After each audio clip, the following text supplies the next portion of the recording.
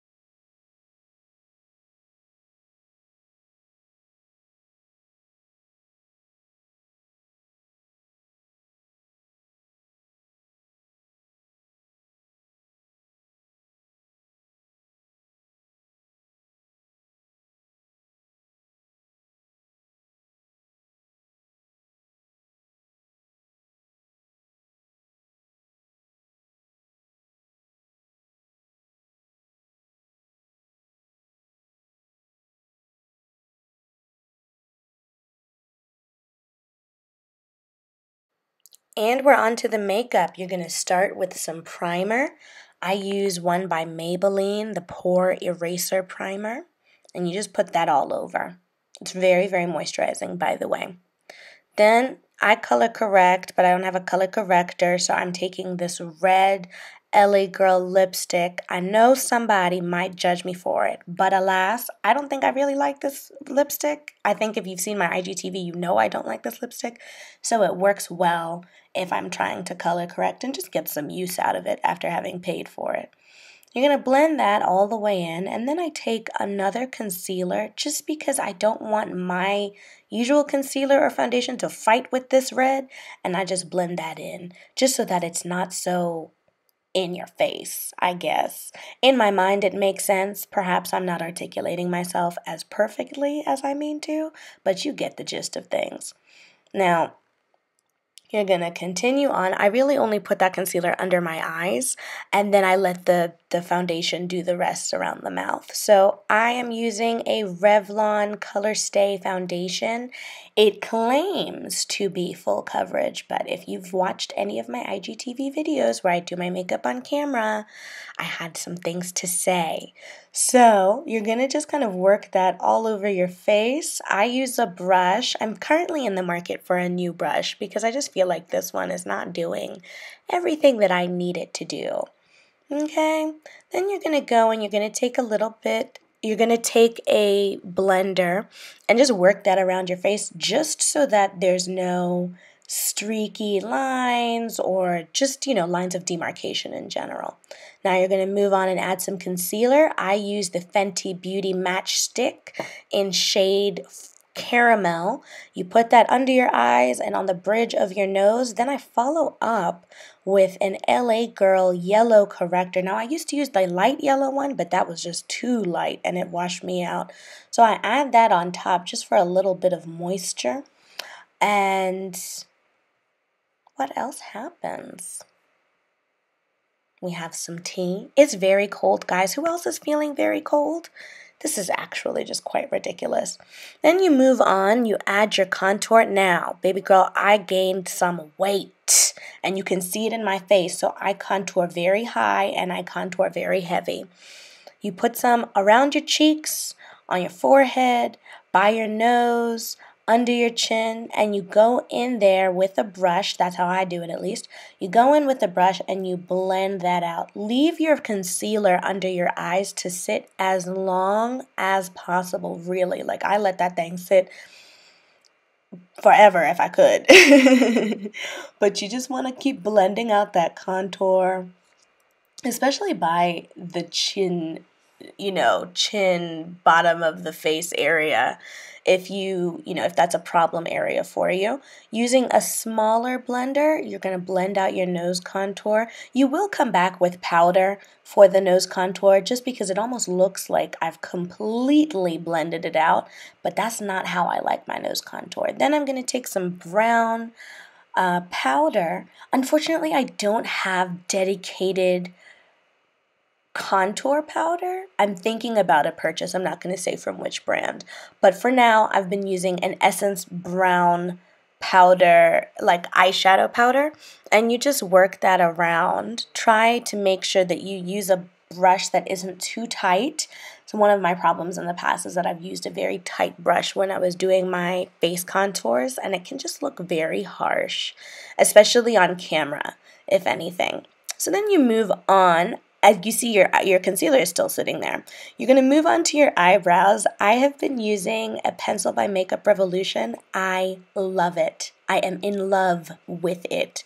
Okay? Essence has held me down for many, many years, but I feel like, you know, Makeup Revolution deserves its chance to make all of my pots and all of my dreams come true. So I like to start on the bottom with one very like clear line and around halfway through the top that's where I add the line in and I just kind of fill in very lightly. I'm not an eyebrow buffin. Listen, I know there are many, many eyebrow styles. This is a style that I like. Okay, I like to see my brows. I don't do feathered brows. I don't do barely there wispies. I want my brow to show up to the room when I walk in. Okay? Okay.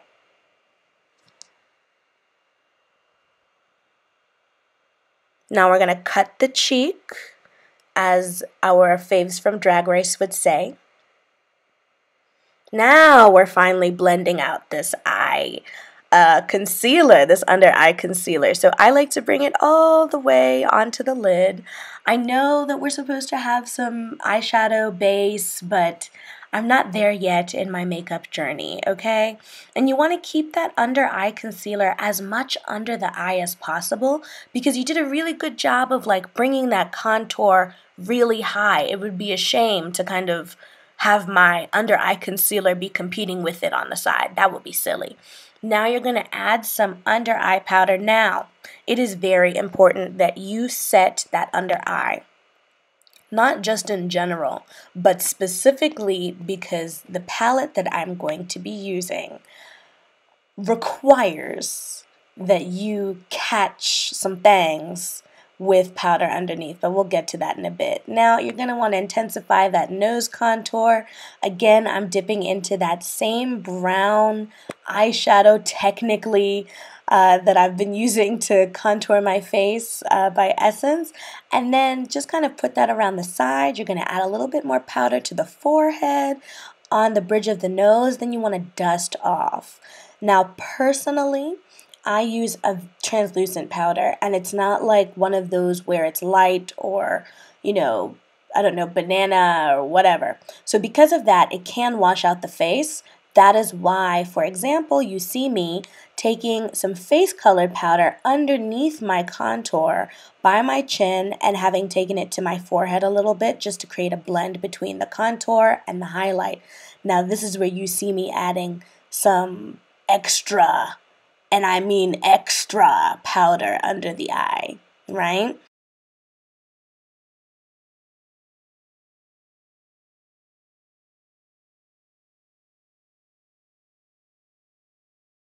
We're going to apply some eyeshadow to our eyes.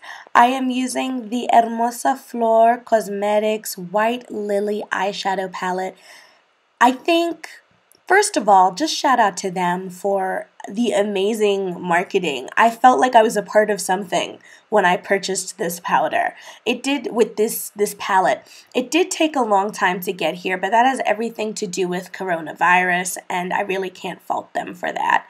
Um so basically I'm going in with this orange color. Y'all know me, I'm not very much into specifics. You don't have to get this particular palette, but you can take any orange that you have, dust that into your crease area. And then you're going to take a light brown and then follow up with a darker brown and put that on the outer lid, right? You do that on both sides. You just kind of pack it up.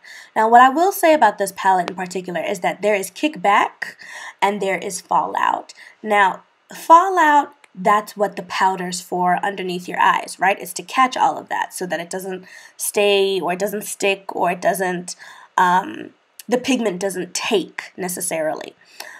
The kickback, on the other hand, is just gonna make your palette dirty. You know, so just be prepared to dust it off before you put it away. Then you're gonna take a champagne type of color. Um, interestingly enough, the the name of this color is Potty because the founder of the brand was, you know, roasted a little bit online for how she pronounced welcome to the party and instead of kind of like letting that get to her, she made a moment of it and dropped a palette and named a whole color after it. And I thought that was really cool. So you see me blowing off that little, you know, kickback in the pan. Then you're going to dust off all of that extra powder, right? You're going to dust it off. You don't need it. Take it off before you start to look like a ghost.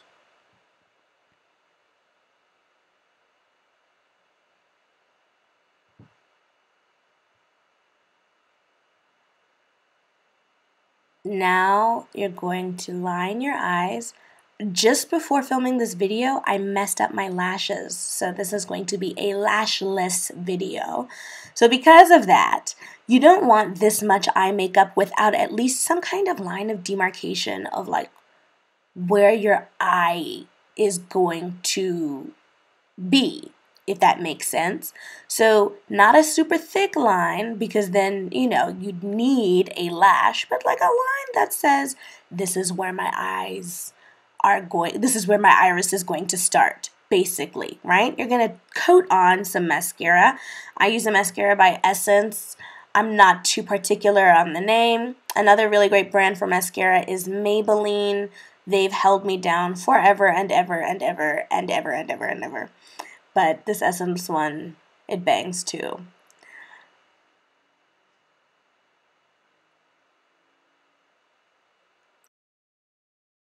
Then you're going to bronze. Okay, so I use the Fenty Beauty powder bronzers. I put that on my forehead, I put it on my cheeks, just to bring some color and like shape back into, and warmth really, back into my face.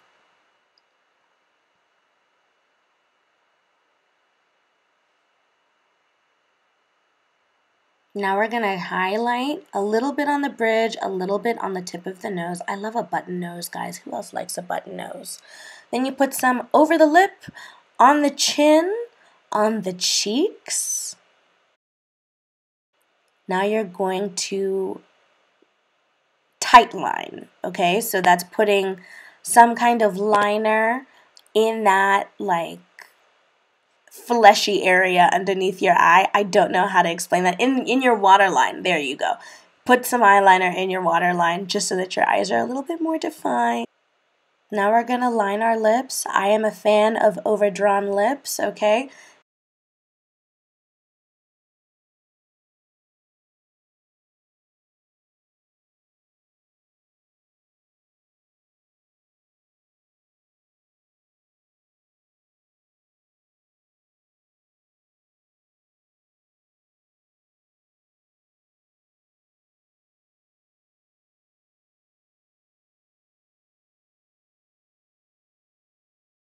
You're going to put a light color inside. I'm adding like a pinky, I don't want to call it nude because it's, it's quite pinky, but I guess you could call it a pinky nude.